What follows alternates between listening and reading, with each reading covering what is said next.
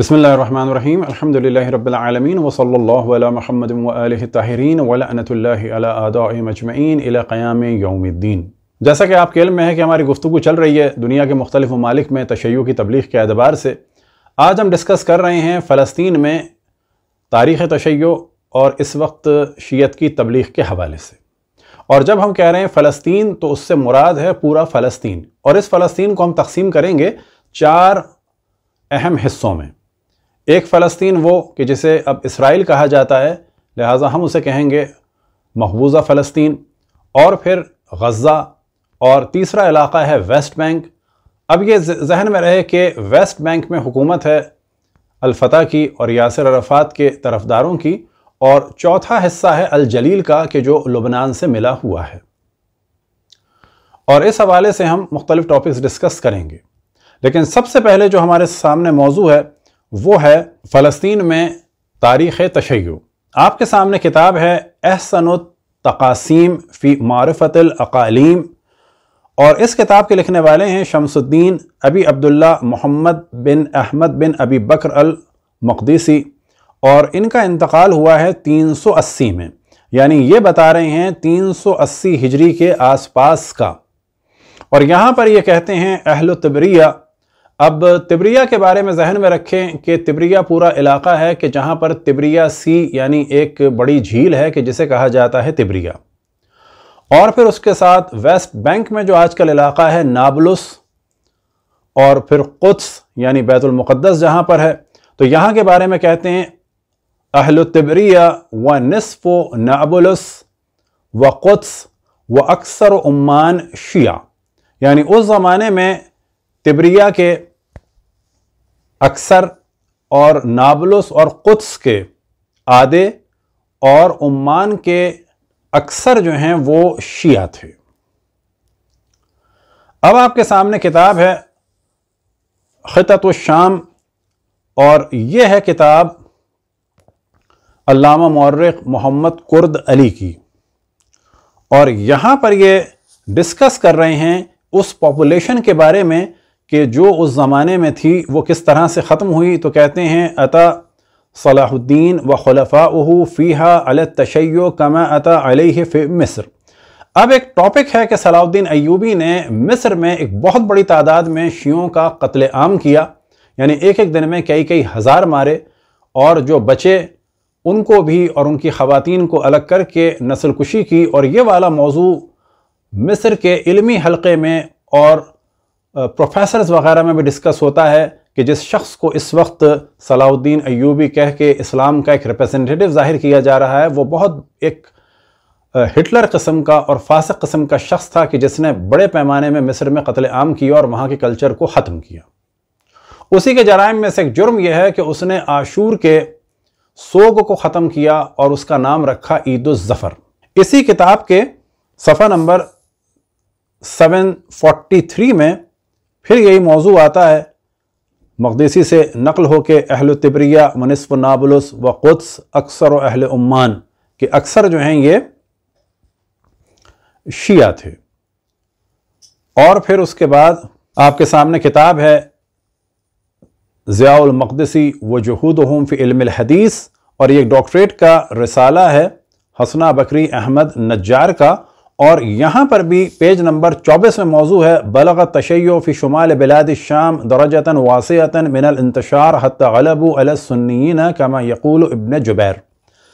کہ شمال شام میں شیعت جو ہے بہت تیزی سے پھیلی اور انہوں نے غلبہ حاصل کر لیا حتی اہل سنت کی تعداد میں، جس طرح سے کہ ابن جبیر نے نقل کیا ہے، ولی شیعہ فی حاض البلاد امور عجیبتاً وہم اکثر من السنیین بہا، کہ شام میں شیعوں کے بہت عجیب و غریب امور ہیں اور بعد میں اس نے تہمتیں لگائیں، لیکن اصل موضوع ہے ہم اکثر و من من السنین کہ وہ سنیوں سے زیادہ ہیں اور ان کے مختلف فرقے ہیں۔ تو یہاں سے پتہ چلا کہ ایک بڑی تعداد وہاں پر تھی۔ تثبیت و دلائل النبوہ لقاضی القزات عبد الجبار بن احمد حمدانی المتوفہ چار سو پندرہ۔ اب فائیو نائن فائیو پر جو ہم نے نیلے سے ہائی لائٹ کیا تو وہ جگہوں کا نام لے رہے ہیں۔ فہا یہ لوگ کہاں کے ہیں؟ بے مصر مصر کے ہیں۔ وب رملہ اور رملہ کے ہیں کہ جو اس وقت مقبوضہ فلسطین میں ہے۔ ایک ہے رام اللہ ایک ہے رملہ۔ وب سور کہ جو اس وقت لبنان میں ہے۔ وب اکا کہ جو اس وقت مشہور مقبوضہ فلسطین کی بندرگاہ ہے۔ وب اسقلان کہ جس کو اس وقت اسقلان بھی عربی میں کہا جاتا ہے اور اشکلون کہا جاتا ہے اسرائیل میں۔ وب دمشق، کہ جو مشہور ہے، وب بغداد، یہ بھی واضح ہے۔ وب جبل سماق یہ اس وقت ادلب کے مقام پر شام کا علاقہ ہے۔ اور اس کے بعد کیا کہتے ہیں؟ وہ کل بحاون نوائی ان تمام علاقوں کے جو لوگ ہیں، وہ کیا کرتے ہیں؟ یدعون تشیع یہ شیعت کا اظہار کرتے ہیں اور دعویٰ کرتے ہیں۔ وہ محبت رسول اللہ صلی اللہ علیہ وآلہ وسلم و اہل بیت ہی اور محبت رسول اللہ اور محبت اہل بیت کا دعویٰ کرتے ہیں۔ یہ بات ہو رہی ہے اس وقت تقریباً اس علاقے کی کہ جو اس وقت اسرائیل کے ہاتھ میں ہے اور اور اسی طرح سے ویسٹ بینک کی۔ تو آپ کے سامنے تحقیق ہے اسرائیل میں شیعوں کے بارے میں اور یہ تحقیق کی ہے فلسطین کے ایک ڈاکٹر نے کہ جن کا نام ہے خالد سنداوی، اور انہوں نے اسرائیل میں تشیع کے بارے میں اور خصوصاً سات گاؤں ہیں الجلیل کے کہ جو ایک زمانے میں لبنان میں تھے اور بعد میں فرانس اور انگلینڈ والوں نے اسے فلسطین میں کر دیا اور بعد میں اب وہ چلے گئے اسرائیل کے ہاتھ میں۔ لیکن ساتھ ساتھ یہاں پر ذکر ہے وہاں کی شیعت کا۔ تو ان کے جو تھیسز ہیں، اس کا نام ہے are they were any Shia Muslim in Israel اور یہاں پیج نمبر 186 میں یہ والا موضوع ہے کہ مارچ 1921 فیبری میں اور 22 میں برٹشر نے اور فرانس والوں نے ایک سرحد قائم کی اور اس کا نتیجہ یہ ہوا کہ چھ شیوں کے گاؤں کہ جن میں سے ایک کا نام ہونین ہے اور قدس ہے، نبی یوشا ہے صلحہ ہے، تربیخہ ہے، المالکیہ ہے۔ ان پر قبضہ کر لیا اور ان کو دے دیا فلسطین کو۔ جبکہ یہ لبنان کے علاقے تھے۔ اس وقت وہاں پر 1931 میں جو مردم شماری ہوئی تو چار ہزار ایک سو شیعہ اس گاؤں میں تھے۔ اور اب آپ کے سامنے اس کا مزید ایک چارٹ ہے کہ جہاں پہ دکھایا گیا ہے کہ کتنے شیعہ اور کتنے گھر وہاں پہ تھے۔ اب ایک کتاب آپ کے سامنے ہے جس کا نام ہے ایتھینٹک کلینزنگ آف پیلسٹائن لکھنے والے ہیں ان کے ایلان پیپے اور تصویر آپ کے سامنے ہے اور ان کی خصوصیات میں سے خصوصیت یہ ہے کہ یہودی ہونے کے باوجود انہیں فلسطین کے مظلوموں کی فکر تھی اور اتنی فکر تھی کہ یہ خود اسرائیلی حکومت کے خلاف ہو گئے اور ان کو وہاں سے نکال دیا گیا۔ اس وقت یہ یو کے میں ہیں۔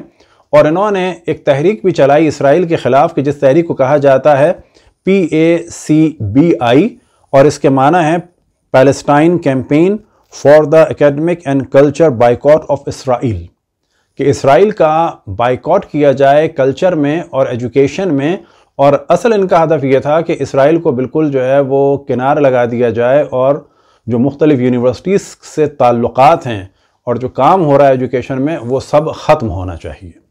تو یہاں سے پتہ چلا کہ یہ ایک گو کے یہودی ہیں، لیکن ظلم کے خلاف ہونے کی وجہ سے انہوں نے کھل کر آواز اپنی بلند کی اور یہ اپنی کتاب میں بھی دو شیعہ گاؤں کا اور باقی اہل سنت گاؤں کا ذکر کرتے ہیں کہ جہاں پر نسل کشی کی گئی کہ جن میں سے ایک مالکیہ ہے اور دوسرا تربیخہ ہے۔ اور اب آپ کے سامنے کتاب ہے the birth of the Palestine refugee problem revisited اور یہ بینی مورس کی ہے اور یہ پیج نمبر 249 میں یہاں پر ذکر کرتے ہیں اسی ہونین کا اور اس کے بعد بتاتے ہیں کہ وہاں پر ظلم ہوا اور یہ بھی گو کے وہیں کے ہیں لیکن اس کے باوجود بھی جو ہے حق کو بیان کر رہے ہیں یعنی یہودی ہیں، اسرائیل کے ہیں اور پھر کہتے ہیں اسرائیلی ڈیفنس فورسز نے شیعہ گاؤں پہ جب حملہ کیا تو وہاں کی چار خواتین کی آبرو کو بھی پامال کیا اور ان کو قتل کر دیا۔ جو سب سے اہم بات یہ ہے کہ خود یہ وہاں کے ہونے کے بعد اس چیز کا اقرار کر رہے ہیں اور اس کے بعد یہ کہ بیس افراد کو قتل کیا اور اسی طرح سے بیس بلڈنگوں کو بھی مسمار کیا۔ پھر دوبارہ page number four forty seven اور ایٹ میں دوبارہ ان گاؤں کا ذکر کیا اور وہاں کی آبادی کا ذکر کیا، ساتھ میں بتایا کہ مسجد بھی مسمار کر دی تھی۔ اب خالد سندالوی صاحب جو ہیں یہاں پر ڈسکس کر رہے ہیں کہ ان چند سالوں میں جلیل، الجلیل کے مقابلے میں شیعوں کی تبلیغ کا سلسلہ شروع ہوا ہے اور اکثر یہ جوانوں کے درمیان ہے اور مختلف گروپ وہاں پر تبلیغات کا کام انجام دے رہے ہیں، خصوصاً دبوریا میں کہ جو مرج ابن عمار کا علاقہ ہے اور اکثر جو لوگ ہیں وہ مذہبی خاندانوں سے ہیں اور سنی سے شیعہ ہوئے ہیں اور یہ جو تبلیغ کا سلسلہ ہے، اس وقت ہی بہت زیادہ نہیں ہے، ایک لمیٹڈ سا ہے۔ اور اس کے بارے میں کہتے ہیں کہ یہ جو تبلیغ کا سلسلہ شروع ہوا تھا اور ہم نے ہرے سے ہائی لائٹ کیا ہے کہ یہ شروع ہوا تھا کہ ایک نوجوان وہاں سے باہر گیا تھا آسٹریلیا اور وہاں پہ جا کے اس نے شیعت کو سمجھا اور جب واپس آیا تو اس نے وہاں آ کر شیعت کی تبلیغ کا شروع کام کیا۔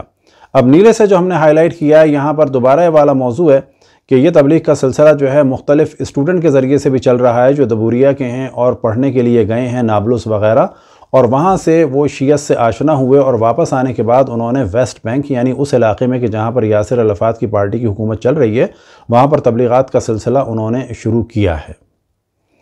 اور کچھ نوجوان ایسے ہیں کہ جنہوں نے وہاں پر شیعت کو قبول بھی کیا ہے۔ اور پھر اس کے بعد پیج نمبر 194 میں بتاتے ہیں کہ وہاں پر عاشورہ منانے کے لیے اور عاشورہ کے بعد بارے میں وہ کہتے ہیں کہ یہ ایک شیعوں کی رسم ہے اور ٹینتھ آف محرم میں کہ اس کے لیے حسینیہ وہاں پر بنایا گیا ہے اور وہاں پر اس کے ذریعے سے تبلیغ کا سلسلہ ہو رہا ہے۔ پیج نمبر 194 میں یہ والا موضوع ہے کہ اسرائیل میں بھی تبلیغ کا سلسلہ چل رہا ہے دو ہزار پانچ سے اور اب تک چھ سو قریب وہاں پر افراد ہیں، لیکن اس کے بعد بھی یہ نہیں کہا جا سکتا کہ کتنی وہاں پر تعداد ہے، کیونکہ اکثر شیعہ وہاں پر چھپ کے اس کام کو انجام دے رہے ہیں۔ اس کے بعد ایک خبر ہے، پیج نمبر 195 میں کہ کویتی اخبار سیاسہ کے بقول کہ شمالی اور جنوبی علاقوں میں شیعت فلسطین میں پھیل رہی ہے اور کچھ علماء بھی ہیں اہل سنت کے جو شیعہ ہو گئے، جن میں سے شیخ عبد الرفیع ان مہاجنی ہیں، شیخ لوید داؤد ہیں اور شیخ محمد زحلقہ ہیں۔ اب اس کے بعد ایک اور عالم ہے، محمد گوامیہ، اور ان کے بارے میں بھی یہ ہے کہ انہوں نے شیعت کو قبول کیا نائنٹین سیونٹی نائن میں۔ اور پھر ذکر ہے کہ جو دوسری ڈیولپمنٹ ہے وہ یہ کہ جارڈن میں یعنی اردن میں بھی لوگ شیعہ ہو رہے ہیں۔ تو یہ تو تھی مختصر گفتگو وہاں پر تاریخ کے اعتبار سے اور اس وقت کے اعتبار سے۔ اب آپ کے سامنے ہشام سالم کا ایک کلپ ہے، اور پھر بعد میں گفتگو کرتے ہیں کہ ان کے ساتھ کیا ہوا۔ العاشر من محرم في ذكرى كربلاء الأليمة على قلوب جميع المسلمين نحن نقول ومن يريد أن يحرر فلسطين أو أن يسير في طريق المقاومة من أجل تحرير فلسطين يجب أن ينطلق من كربلاء الإمام الحسين عليه السلام. اب آپ کے سامنے ڈسکس کر رہے ہیں کہ غزہ میں کچھ لوگ شیعہ ہوئے جن میں سے ایک مشہور تھے ہشام سالم۔ اور وہاں کے چند جوانوں نے کہ جن کی تعداد سے اندازہ لگایا جا سکتا ہے کہ انہوں نے باقاعدہ ایک ملیشیا بنائی، ایک فوج بنائی اور اس فوج کا نام تھا الصابرین۔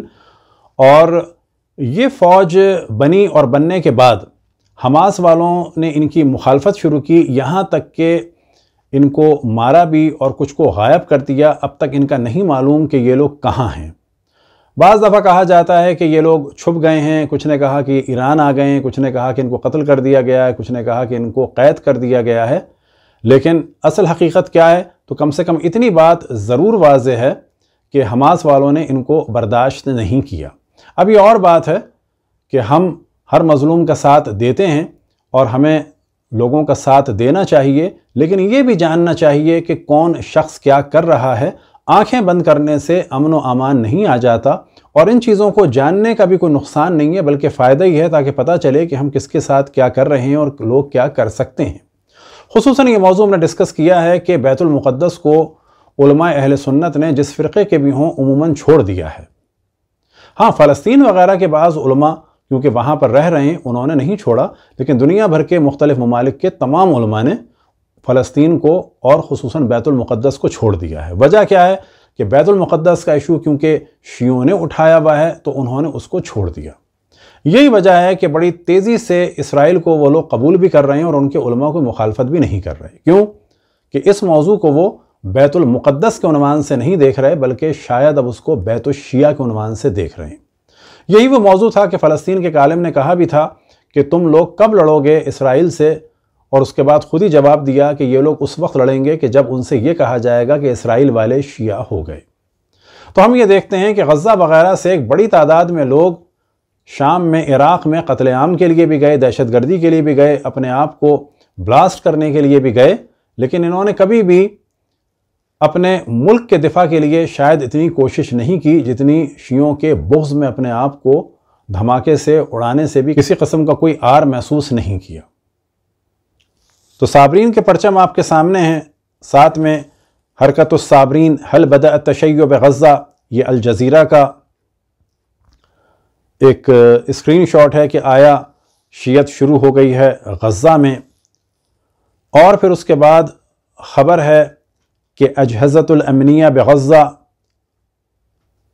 کہ غزہ کی جو سیکرٹ سروسز اور جو امن و امان والی فورسز ہیں انہوں نے گرفتار کر لیا ہے ہشام سالم کو کہ جو جنرل سیکرٹری ہیں حرکت و صابرین کے۔ اب آپ کے سامنے خبر ہے ٹوینٹی فور نیوز کی کہ حماس نے شیعت کے پھیلنے کے خطرے سے ختم کر دیا ہے کس کو؟ الصابرین کو۔ اب جراس نیوز آپ کے سامنے ہے، یہاں پر بھی یہی والا موضوع ہے کہ خطرہ ہے حماس والوں کو الصابرین سے اور یہاں پر بھی العربیہ کی بھی یہی خبر ہے۔ اور پھر اس کے بعد الجزیرہ کی خبر ہے، صابرین کے بارے میں، اور اس کے بعد رائے الیوم کی خبر ہے، اور یہاں پر بھی یہی ہے کہ یہ ایران کی طرفدار اور ایک شیعہ ملیشیا ہے۔ اور پھر اس کے بعد سوال کیا جا رہا ہے کہ حماس والے کیوں مشکل کریٹ کر رہے ہیں صابرین کے لیے کہ جو شیعہ ہیں غزہ میں۔ اب اس کے بعد دوبارہ یہی صابرین کی خبر ہے اور تصویر ہے اس میں۔ عبد الرحمن العجوری کی۔ اور اب دوبارہ آپ کے سامنے تفصیل ہے گرفتاری کی ہشام سالم کی خبر کے بارے میں۔ اور اب تک تو یہ عربی کی تھیں، اب ممکن ہے کوئی کہے کہ یہ دشمنوں کی ہیں۔ تو اب آپ کے سامنے ہم پیش کر رہے ہیں ابنا نیوز یعنی اہل بیت نیوز ایجنسی کہ جس کا فارسی کا ایڈیشن آپ کے سامنے ہے، چھبیس فیبری دو ہزار انیس کا۔ اور یہاں پر ہشام سالم کی گرفتاری کی خبر کے بعد یہ تجزیہ کیا جا رہا ہے کہ سہونی جو ہیں وہ خوش ہو رہے ہیں ہشام سالم کی گرفتاری پر۔ اب یہاں سیکنڈ لائن میں ہے، بے گزارش خبر گزاری اہل بیت ابنا سیہونیست ها ناتوانستن خوشحالی خود را از بازداشت رهبر جنبش صابرین به دست نیروهای حماس پنهان کنند۔ کہ زائنسٹ اپنی خوشی کو نہیں چھپا سکے، کس مورد میں؟ کہ حماس والوں نے صابرین والوں کو گرفتار کر لیا۔ اب اس کے بعد ایک ٹویٹ ہے اسرائیلی فوجی کا، خدایا بے ظالمین، بے وسیلے ظالمین ضرب بزن و مار از میان آنان به سلامت خارج کن کہ اے خدا، ظالم کے ذریعے سے ظالم پر ایک ضربت لگا اور ہمیں ان کے درمیان سے امن و امان سے باہر نکال دے۔ اور وجہ کیا بیان کی؟ پیش از این نیز برخی برخوردها غیر قابل قبول عناصر افراطی در غزه با پیروان اہل بیت در فلسطین موجب خوشحالی سہونستی ها و ناراتی حامیان محور مقاومت شده است. کہتے ہیں کہ بعض لوگوں کی شدت کی وجہ سے کہ جو انہوں نے روش رکھی اہل بیت کے چاہنے والوں کی وجہ سے، اس سے پہلے بھی زائنس خوش ہوش ہو چکے ہیں۔ اور اب آپ کے سامنے اصل ٹویٹ ہے، عیدی کوہین کا۔ کہ جس میں وہ کہہ رہا ہے کہ یا اللہ تو دشمن کے ذریعے سے دشمن پہ ضربت لگا اور ہمیں وہاں سے امن و امان کے ساتھ نکال لے۔ تو پتہ چلا کہ جو شیعہ فوج بنی تھی، الصابرین، اس پر ضربت لگائی کس نے؟ حماس والوں نے۔ اور اب یہاں پر اسی خبر کا اگلا حصہ ہے، شایان ذکر ہے کہ نیروہائے امنیتی وابستہ بے جنبش حماس، روز سے شنبے ہفتوں میں اسفند۔ 1397 شیخ شام سالم دبیر کل جنبش صابرین در نوار غزرہ بے ہمراہ چہار تنز نیرو ہائے ان سازمان بے نام ہائے شادی ابو نبیل فروانے تحریر شطیفہ اور عمار الخواجہ را بے دلائل نامعلوم بازداشت کردن کہ ان چند افراد کو بغیر کسی وجہ کے، کہ وجہ نہیں بتائی، انہیں گرفتار کر لیا، ساتھ میں ان کا لیپ ٹاپ بھی لے گئے۔ اور پھر اس کے بعد ہے کہ یہ جو بنی تھی، بر اساس مذہب شیعہ جعفری توسیس کر کہ سالم حشام نے یہ ایک جماعت بنائی تھی شیعہ اساس کی بنیاد پر۔ اب آپ کے سامنے دوبارہ یہی خبر ہے اور یہ بھی ابنا والوں سے ہے اور یہاں پر بھی یہی والا موضوع ہے کہ چھبیس فروری دو ہزار انیس کو حماس والوں نے اس جماعت پر پابندی بھی لگائی اور ان لوگوں کو گرفتار کر لیا اور نیچے ان کا انٹروڈکشن کرایا جا رہا ہے۔ حشام سالم، یکی از رہبران جنبش جہاد اسلامی فلسطین بود، کہ در سال دو ہزار چہاردہ با جدائی از جہاد اسلامی جنبش صابرین را با آئیڈیالوجی مبارز با رژیم سہونستی براساس مذہب شیعہ جعفری تاسیس کرد۔ کہ شیعہ عقائد کی بنیاد پر انہوں نے یہ جنبش بنائی تھی اور یہ خود ایک عالم دین تھے حشام سالم جو شیعہ ہوئے، دو ہزار چودہ میں بنائی تھی۔ اب دوبارہ ابنا کی آپ کے سامنے ایک اور کا اسکرین شاٹ ہے کہ جس میں اسی کا ذکر ہے کہ آخر میں ہے شایان ذکر اس کہ برقی از رسانہ عربی مدعی حسن کہ حشام سالم از علماء مستبصر بودے یعنی بعض عرب میڈیا والے کہتے ہیں کہ حشام سالم جو ہیں، ان علماء میں سے ہیں کہ جو سنی سے شیعہ ہوئے ہیں۔ اب بیس جنوری دو ہزار بارہ کی خبر ہے، ضرب و شتم شیعان غزے در اربعین، کہ اربعین میں شیعوں کو مارا بھی گیا اور برا بھی کہا گیا۔ اس کی خبر ہے کہ جب بیس افراد اربعین میں مصروف تھے۔ اب یہاں پر ممکن ہے کہ کوئی یہ کہہ دے کہ یہ جو کام ہو رہا ہے غزہ میں حماس کی جانب سے وہاں کے مجاہدین کے خلاف یہ پنجاب یا سندھ کے کسی ذاکر کی وجہ سے یا کسی شاعر کی وجہ سے ہے، کیونکہ ہمارے لوگوں کی عادت بن گئی ہے کہ دشمن کو ریلیف دیتے ہیں اور کہتے ہیں کہ دشمن کچھ نہیں کر رہا، جو کچھ کر رہے ہیں وہ اپنے ہی لوگ کر رہے ہیں۔ تو یہاں سوال یہ پیدا ہوگا کہ ایران نے اتنی قربانیاں دیں فلسطین میں، حماس والوں کو اتنا سپورٹ کیا۔ اب اگر وہاں پر کچھ لوگ مؤمنین جہاد کے کام میں مصروف ہیں، تو اس پوری ایک فوج کے لیے مشکل کریٹ کر دیں اور وہاں کے جو اس کے بانی تھے، جو بنانے والے تھے، ان کو غائب کر دیا اور اب تک ان کا کچھ نہیں معلوم کہ یہ لوگ کہاں ہیں اور کس حال میں ہیں۔ اور نہ فقط اس میں، بلکہ اربعین کے اور مختلف پروگرام میں بھی گاہے بگاہے وہاں پر پرابلم کریٹ کرتے رہتے ہیں۔ اور پھر آخری لائن میں ہے تعدادی ازین شیعان پس از مورد حملے قرار گرفتن برائے درمان بے بیمارستان منتقل شدن۔ یعنی ان کو اتنا مارا گیا کہ ان میں سے کچھ لوگوں کو اسپتال میں منتقل کر دیا گیا ہے۔ اب آپ کے سامنے ایک اور اسکرین شاٹ ہے خبر گزاری کے بین المللی قدس کا، کہ دستگیری فرماندے جنبش صابرین اسو حماس، کہ حماس والوں کی جانب سے صابرین والوں کو گرفتار کر لیا گیا ہے۔ وجہ اس کی کیا ہے اصل میں؟ وجہ یہ ہے کہ بڑی تعداد میں لوگ مذہب حق اہل بیت میں داخل ہو رہے ہیں اور نوبت یہاں تک آ گئی تھی کہ دو ہزار چودہ میں وہاں پر ایک شیعہ ملیشیا بن گئی تھی جس کا نام تھا الصابرین اور اس کے بنانے والے خود عالم تھے۔ اور ان کا نام تھا حشام سالم۔ سامنے کچھ کلپ ہیں کہ جس میں یا حسین لکھا ہوا ہے اور عالم جو ہے مستقل اس کی توہین کر رہا ہے۔ اور پھر اس کے بعد یہ کہتا ہوا نظر آئے گا آپ کو۔ اور اس کے بعد یہ کہہ رہا ہے کہ یہ جو نام لیا جا رہا ہے اور یہ جو لکھا جا رہا ہے یا حسین، یہ در حقیقت معاویہ کی وجہ سے کیا جا رہا ہے، اس کو نیچے لانے کے لیے۔ اور بعد میں کہتا ہے کہ یہ سب کچھ ہو رہا ہے ان انجاز کو اوپر لانے کے لیے یعنی امام حسن، امام حسین کو کہہ رہا ہے، نجس لوگ، ان کو اوپر لانے کے لیے سارا کام ہو رہا ہے۔ يا حسين هذه طواقي تباع يا حسين يا اخواننا هي ملزق عليها لزقه هيك يا حسين هذه الطواقي تباع في غزه كيف وصلت ليش وصلت، وقت ايش وصلت مين وصلت بعرفش انا المهم وصلت۔ واقفين في وجه في وجه أمريكا في وجه إسرائيل. بس هدول الأبطال ينبهر بهم. إيش المطلوب؟ المطلوب أسقط معاوية. أسقط معاوية. أسقط الصحابة. وارفع هؤلاء الأنجاز. هذا المطلوب. معادلة. الصحابة مين معاوية؟ اب آپ کے سامنے کلپ ہے کہ ایک مجلس میں اہل بیت کا ذکر ہو رہا ہے، وہاں پر لوگ کھڑے ہو گئے اور وہ یہ فریاد کر رہا ہے کہ اہل بیت کے ذکر کے تم کیوں اتنے مخالف ہو؟ اور اگر اہل بیت کا ذکر ہو رہا ہے تو اس سے تمہیں کیا پرابلم ہے؟ اب ایک اور کلپ ہے کہ جس میں یہ مولوی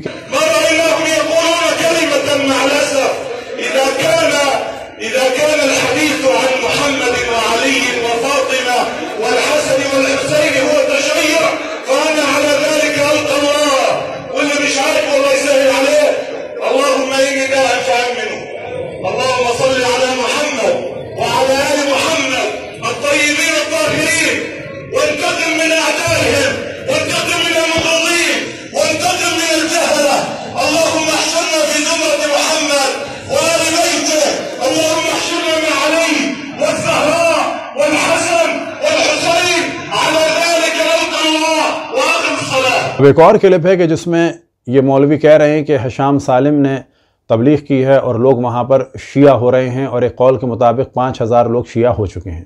2500 واحد تشيعوا في فلسطين هيبقوا 250 ألف. شكرا هشام سالم. لا حول ولا بالله. لا شكر الله سعيكم. أبدا. ولا وفقكم الله ولا بارك الله لكم. تريدون أن تشيعوا أطفال المسلمين؟ اب آپ کے سامنے کلپ ہے کہ جس میں اربعین اور عاشور کی واک میں فلسطینی جو علماء وہاں پر پہنچے ہیں اور جو وہاں پر موقف لگایا گیا ہے، اس کی کچھ تصاویر ہیں۔ اب آپ کے سامنے کلپ ہے کہ جس میں بچے کہ جو شیعہ ہیں، شیعہ گھروں سے ہیں، وہ اسرائیلی فوجیوں کے سامنے اہل بیت علیہ صلی اللہ السلام کے نعرے لگا رہے ہیں اور آپ کو وہاں پر لبیک یا حسین کی ندائیں بھی نظر آئیں گی اور حیدریہ کی بھی ندائیں نظر آئیں گی۔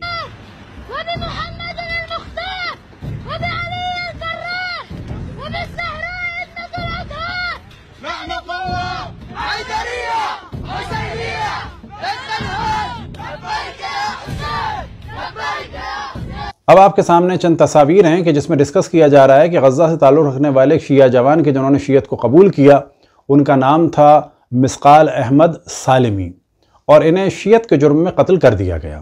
اب جب شیعت کے جرم میں قتل قتل کیا گیا، اب یہ خبر آپ کے سامنے گیارہ نومبر دو ہزار سولہ کی کہ دونوں تصاویر موجود ہیں اور یہاں پر ڈسکشن کیا جا رہا ہے کہ ان کو کیوں قتل کیا گیا، اس کی فیس بک پر کیا لکھا تھا۔ تو جو معتدل قسم کے لوگ ہیں، انہوں نے بتایا کہ یہ مجالس امام حسین میں شرکت کرتے تھے۔ القدس والوں نے بھی یہی بتایا کہ ان کو قتل کر دیا گیا فائرنگ سے، اور جرم ان کا کیا تھا کہ یہ شیعہ ہو گیا۔ اور اس کی فیس بک پر لکھا تھا، انا مسلم، لا شیع ولا سنی، میں مسلمان ہوں، نہ شیعہ ہوں، نہ سنی ہوں، کہ میرا رب جو ہے اللہ سبحانہ و تعالیٰ ہے، میرے نبی رسول اللہ صلی اللہ علیہ وآلہ وسلم ہے، اور میرے آئمہ مولا امیر المؤمنین ہیں اور ان کے گیارہ فرزند ہیں، امام حسن، امام حسین سے لے کر امام مہدی علیہ صلاۃ السلام تک۔ اور انہوں نے واضح انکار کیا کہ نہ میں نے کبھی کسی کو برا کہا، نہ کچھ کہا۔ لیکن ان پر یہ تہمت لگائی کہ انہوں نے اصحاب کی توہین کی۔ یہ وہی طریقہ ہے، جب کسی کو مارنا ہوتا ہے تو مختلف تہمتیں لگاتے ہیں۔ اور یہاں پر ہے کہ مرکز ابن تیمیہ نے اسی قسم کی تہمتیں لگا کر ان کے قتل کے لیے راہوں کو ہموار کیا۔ لیکن دیکھنے کی بات یہ ہے کہ سلفیوں نے یہ تہمت لگا کے ان کے کیس کو خراب کرنا چاہا، لیکن الفتح والوں نے، کیونکہ وہ لوگ پڑھے لکھے اور لبرل لوگ ہیں، انہوں نے وہاں پر کہا کہ سب سے پہلے اس کی واضح ہو گئی ہیں کہ تفصیلات کیا تھیں۔ تو الفتح جو یاسر رفات کی ہے، ان لوگوں نے جو ہیڈنگ لگائی، وہ یہ لگائی کہ ان کا قتل سبب بنا کیونکہ یہ وہاں کے شیعہ مشہور تھے۔ اور جو دوسری بات ہے، وہ یہ کہ وہاں پر جو دیندار لوگ ہیں وہ شیعہ ہو رہے ہیں، جیسے کہ محمود جودہ اور محمد حرب اور ہاشم سلیم، ہاشم سالم۔ یہ دیندار علماء ہیں جو شیعہ ہو رہے ہیں۔ اور پھر جو وجہ بتائی، وہ یہ بتائی وہ یتحدث ان مقتل سیدنا حسین ابن علی و تمجد و معرکت کربلا۔ کہ یہ امام حسین علیہ صلاۃ السلام کا مقتل بیان کرتے تھے، ان کی تعریف بیان کرتے تھے، کربلا کا ذکر کرتے تھے۔ اور ساتھ ہی یہ ہے کہ انہوں نے وہاں پر ذکر کیا تھا اربعین امام حسین علیہ صلاۃ السلام کا۔ تو یہاں سے پتہ چلا کہ جب ایک شیعہ کو مارا جاتا ہے تو سلفی تہمت لگا کے مارتے ہیں، لیکن جو پڑھے لکھے اہل سنت ہیں، وہ ہمیشہ جو ہے وہ کوشش کرتے ہیں کہ صحیح بات بیان کریں۔ تو یاسر عرفات والوں نے پھر بھی صحیح بات بیان کی کہ اس کا جرم یہ تھا کہ شیعہ ہونا۔ دوسرا پرابلم کیا تھا کہ علماء اہل سنت وہاں پر کچھ شیعہ ہو چکے ہیں۔ اور تیسرا مسئلہ یہ تھا کہ وہ واقع کربلا کو بیان کرتا تھا جوان۔ یہی والی خبر ابنا نے بھی بیان کی ہے کہ ایک داعشی نے انہیں قتل کیا، اس کو بھی خیر پھانسی کی سزا ہو گئی اور فلسطین والوں نے بھی اس کی خبر دی کہ غزہ میں ایک شیعہ کو قتل کر دیا گیا ہے۔ بنت جبیل نے بھی یہ خبر لگائی کہ شیعہ ہونے کی وجہ سے ایک جوان کو غزہ میں قتل کر دیا گیا ہے۔ اور پھر اس کے بعد الایام نے بھی یہی خبر لگائی کہ شیعہ ہونے کے جرم میں ایک جوان کو جن کا نام ہے مسقال احمد سالمی، ان کو قتل کر دیا گیا ہے۔ تو یہاں سے پتہ چلا کہ اس وقت فلسطین میں چاہے فلسطین مقبوضہ ہو کہ جسے اسرائیل کہا جاتا ہے، چاہے ویسٹ بینک ہو، چاہے غزہ ہو، اور چاہے الجلیل کا علاقہ ہو، یہاں پر مذہب حق اہل بیت علیہ السلام پھیل رہا ہے اور اسی وجہ سے بعض جگہ شیعوں کے خلاف پروپگنڈا کیا جاتا ہے کیونکہ اہل بیت علیہ السلام سے لوگ آشنا ہو رہے ہیں۔ دعا کہ خداون تبارک و تعالیٰ تمام ازیان و مذاہب کے ماننے والوں کو عقل و شعور کے ساتھ لاجیکلی ڈسکشن کی توفیق عطا فرمائے اور ہم سب کو توفیق عطا فرمائے کہ اہل بیت علیہ السلام کو پہچانے بھی اور پہچانوائیں بھی۔ وصلی اللہ علیہ محمد و علیہ طاہرین